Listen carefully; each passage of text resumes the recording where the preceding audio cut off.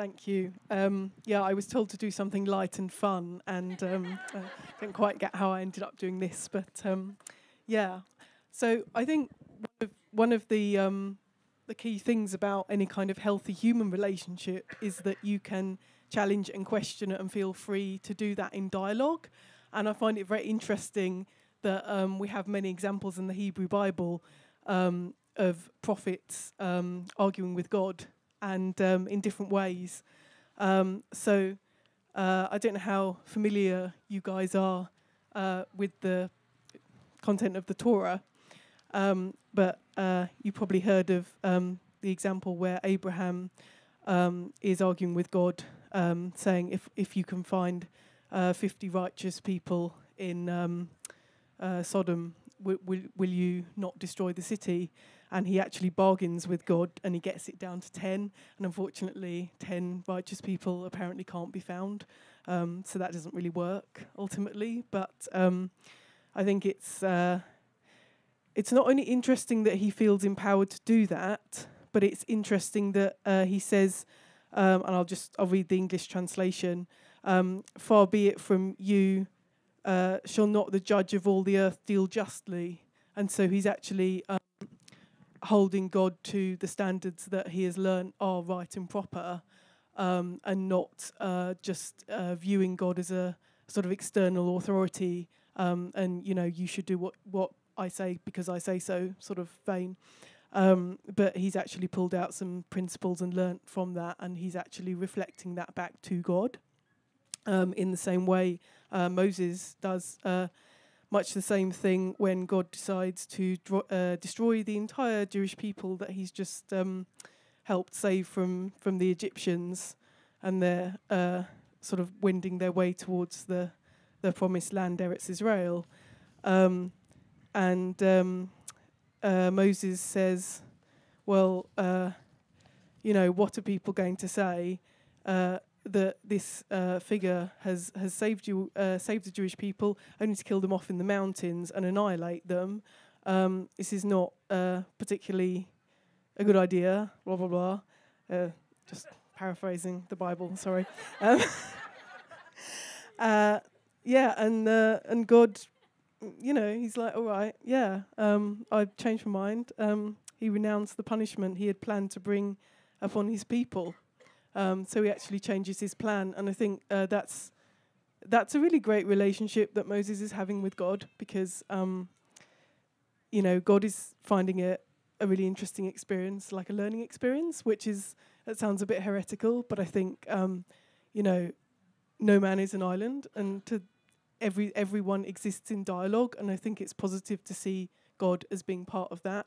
Um, and actually, you know, if we need God, God needs us as well, um, and that uh, that's sort of what what I would learn from that. Um, sometimes uh, some of these interactions with God that the prophets are having um, don't seem to be as positive. positive, and uh, on the face of it, uh, a bit earlier to backtrack, um, Moses is uh, having a, a, bit of a fit of insecurity, um, which seems to partly revolve around the fact that he has what looks like a speech impediment. It says, I mean, the Hebrew is um, chaved pe u lashon, which is like literally, I'm heavy of mouth and heavy of tongue.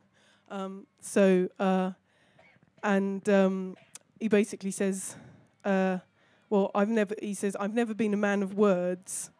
Um, and you know, I have this speech impediment, and um, and God says, "Well, I made you like that, so you know, what are you talking about?" Kind of. Um, and then um, Moses says, "Well, please go and make someone else your agent. Don't make don't make me the prophet."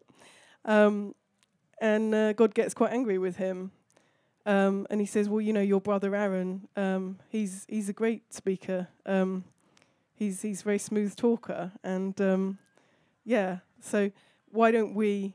You you shall speak to him, and uh, you can be as as God is to you, to him, as God. Yeah, and um, I'll be with you.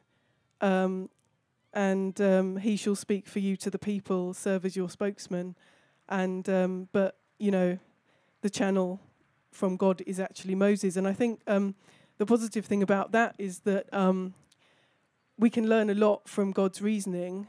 And if Moses had just accepted it and felt really insecure and unable to kind of uh, fulfill that role, um, he he perhaps wouldn't have grown into himself as he does throughout his life um, in in the Bible. And um, I think um, you know the fact that he needs it explained to him why actually you know he's got the content and he's got the spiritual connection and the right kind of morals and values and so on.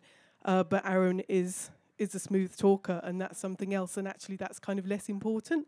Um, basically, we we learn a lot from that interaction, um, and not only does it reassure him, but um, uh, yeah, it sort of resolves a lot of those issues. Um, yeah, the next example is um, I'm going to read it out because there's been a lot made of this, different interpretations. Um, it's quite mysterious.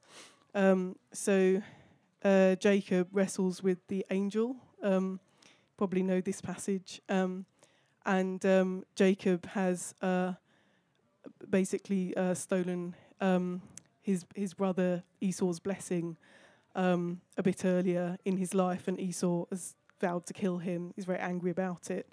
Um, actually, interestingly, uh, it's worth noting that there are uh, there is the what's called the, inner, the innermost blessing um, of their father Isaac, um, which is actually the one that Jacob uh, has uh, used deception uh, along with his his mother Rebecca has used deception to obtain instead of Esau by in uh, imitating Esau. Um, and then there's the the sort of ancestral blessing that um, they've that has come down from Abraham, um, and actually this has always uh, gone uh, to Jacob. Yeah, to Jacob, um, not Esau, uh, and he he receives that um, uh, from Isaac when he sets off to find a wife. So the innermost blessing is actually it's not um, to inherit Eretz Israel. Um, it's uh, it is more about wealth and power and other people bowing down and respecting you and you dominating them. Uh, that's actually the the bit that um, Jacob has has received that uh, Isaac intended to give Esau, and um, and then he he wrestles with God in this paragraph I'm going to read.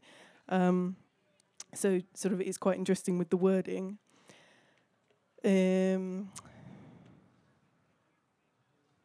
Jacob was left alone, and a man wrestled with him until the break of dawn. When he saw that he had not prevailed against him, he wrenched Jacob's hip at its socket, so that the socket of his hip was strained as he wrestled with him. Then he said, Let me go, for dawn is breaking. But he answered, I will not let you go unless you bless me. Said the other, What is your name? He replied, Jacob. Said he, Your name shall no longer be Jacob, but Israel, for you have striven with beings divine and human, and have prevailed. Uh, Jacob asked, Pray tell me your name. But he said, You must not ask my name. And he took leave of him there. So Jacob named the place Peniel, meaning, I have seen a divine being face to face, and my life has been preserved. Um, and then, uh, so interesting thing about that is that um, this is why, you know, the children of Israel, the Jews, are actually called uh, Bnei Israel, is from uh, the name for Jacob. It's literally the children of Jacob. Um, and uh, yeah, the, the, word Jews, it just comes from um, the, the province that's half of the historical kingdom uh, that of Eretz Israel, of the land of Israel. So it's kind of less significant. Whereas um, the name Israel, it means, you know, he who has struggled with God. So this is kind of a very weird thing to a, a name to, to have, I think. And um, uh, I find it, it, it, it's not entirely clear. I mean, that whole uh, narrative is pretty mysterious, but um, what happens next is uh, he, Jacob reconciles with Esau, and um, he effectively, uh, so basically, um, he bows down to Esau and then he gets entire on, his entire entourage to bow down to Esau, um, and then uh, he he sort of the interaction is very much around, um, you know, Jacob says, uh, Esau says, "Oh, I have enough," and Jacob says, "You must accept my blessing. I have everything." And I think um, his, you know, his interaction uh, wrestling with God has been quite transformative, and he's perhaps uh, w- w- one reading that I find quite powerful of this is that um, he has realised that uh, the blessing to do with the wealth and the power and being bowed down to that he received by deception instead of Esau, um, it's okay to, in a sense, give it back to him. Um, and he does that, and they're reconciled, and that's very powerful. And he says, um, seeing your face is like seeing the face of God. And I think um, there's something really profound in that. Um, and uh, whatever has happened to him alone, wrestling with the angel, wrestling with God, uh, that has allowed that that reconciliation to happen, and um, his his uh, his whole outlook has changed. Um, so that's really interesting. Uh, the last thing that I'm going to um, mention isn't actually from the the Bible; it's from the Talmud. Um, all of these people that I've talked about have been prophets, not you know regular people. So um, yeah, there's a bit of a. Sorry, is my? I think I've lost a piece of paper. Is it? Sorry. Um,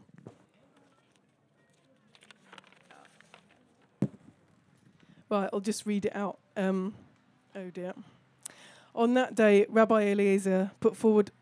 Sorry, these, this is a Talmudic uh, debate between different rabbis, and um, they are trying to convince each other. So Rabbi Eliezer put forward all the arguments in the world, but the sages, the other rabbis, did not accept them. Finally, he said to them, If the halacha, the Jewish law, is according to me, let that carob tree prove it. He pointed to the nearby carob tree, which then moved from its place a hundred cubits, and some say 400 cubits. They said to him, One can't bring proof from the moving of carob tree. Said Rabbi Eliezer, if the halacha is according to me, may that stream of water prove it. The stream of water then turned and flowed in the opposite direction. They said to him, One can't bring proof from the behavior of a stream of water. Said Rabbi Eliezer, If the halacha is according to me, may the walls of the house of study prove it. The walls of the house of study began to bend inward. Um, Rabbi Yehoshua then rose up and rebuked the ha- walls of the house of study. If the students of the wise argue with one another in halacha, what right have you to interfere? Uh, in honor of Rabbi Yehoshua, the walls ceased to bend, bend inwards, but in honor of Rabbi Eliezer, they did not straighten up, and they remain bent to this day. Then said Rabbi Eliezer to the sages, If the halacha is according to me, may a proof come from heaven. Then a heavenly voice went forth and said, What have you to do with Rabbi Eliezer? The halacha is according to him in every place. Then Rabbi Yehoshua rose to his feet and said, It is not in the heavens. What did he mean by quoting this? He's quoted a part of um, the Bible. Um, so, what did he mean by quoting this? Said Rabbi Jeremiah, he meant that since the Torah has been given already on Mount Sinai, we do not pay attention to a heavenly voice, for you have written in your Torah, decide according to the majority. Uh, Rabbi Natan met the prophet um, Elijah. He asked him, uh, What was the Holy One, blessed be he, doing in that hour? So they're wondering what God made of all this. And Elijah says, He was laughing and saying, My children have defeated me. My children have defeated me. So, yeah, he's pretty happy about that. Um, why is this important? Well, um, yeah, for one thing, um, in the Jewish tradition, we're not expecting any more prophets, and uh, we don't have that kind of connection to God, but we do have uh, Jewish texts, and we can study the texts and argue about them and over them, and that is the uh, the way that we can participate in this tradition. Um, I think I'll leave it there.